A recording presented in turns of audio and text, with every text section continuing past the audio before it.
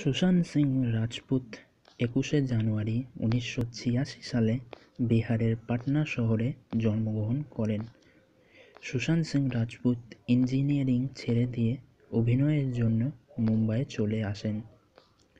TV serial দিয়ে অভিনয় শুরু করেছিলেন, কিন্তু কিছুদিন পরেই তিনি বলিউডে পা রেখেছিলেন।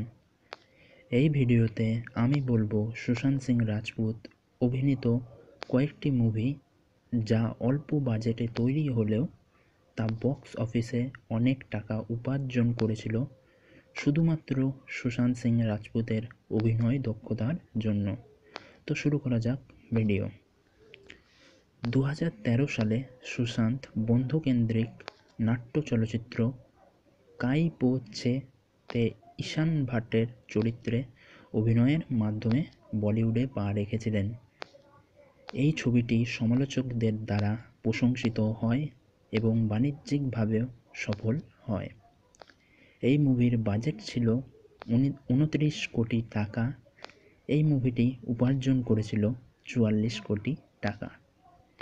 এরপর সুশান্ত সিং রাজপুত, মনীষ শর্মা পরিচালিত সুদ দেশি রোম্যান্স ছবিতে পরিণীতি চোপড়া ও বাণী কাপুরের বিপরীতে অভিনয় করেন। এই ছবিটিও বাণিজ্যিকভাবে সফল হয়। এই মুভির বাজেট ছিল মাত্র বাইশ কোটি টাকা এবং উপার্জন করেছিল ছিয়াত্তর কোটি টাকা।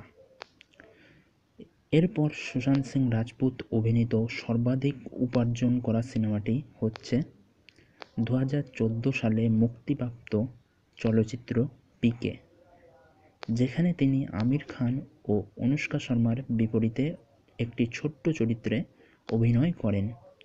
এই মুভিটি উপার্জন করেছিল আটশো চুয়ান্ন কোটি টাকা। এরপর দু হাজার ষোলো সালে তিনি ভারতীয় ক্রিকেটার মহেন্দ্র সিং ধোনির জীবনী নিয়ে নির্মিত M S Dhoni the untold স্টোরিতে অভিনয় করেছিলেন, যার জন্য তিনি প্রথমবারের মতো শ্রেষ্ঠ অভিনেতা বিভাগে ফিল্মফেয়ার পুরস্কারের জন্য মনোনয় গ্রহণ করেছিল। এই সিনেমায় তার অভিনয়ের অনেক প্রশংসা পেয়েছিল। এই মুভির বাজেট ছিল একশো চার কোটি টাকা এবং এই মুভিতেই উপার্জন করেছিল দুশো ষোলো কোটি টাকা।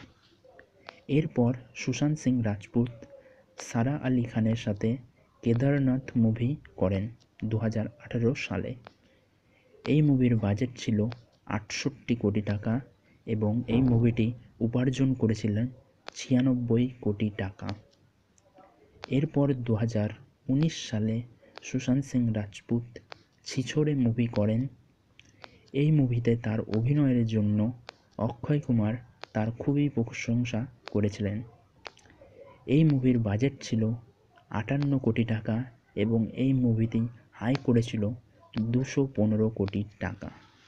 এছাড়াও সুশান্ত সিং রাজপুত একটি সিনেমা যেটা এখনও মুক্তি পায়নি লকডাউনের জন্য। এই মুভির নাম দিল বেচারা। এটি কিছুদিনের মধ্যেই হটস্টারে রিলিজ হতে পারে। সুশান্ত সিং রাজপুতের হাসিটা ছিল সবারই পছন্দের। তোমাদের সুশান্ত সিং রাজপুতের কোন জিনিসটা সবথেকে ভালো লাগতো তোমরা তা কমেন্ট বক্সে জানিও।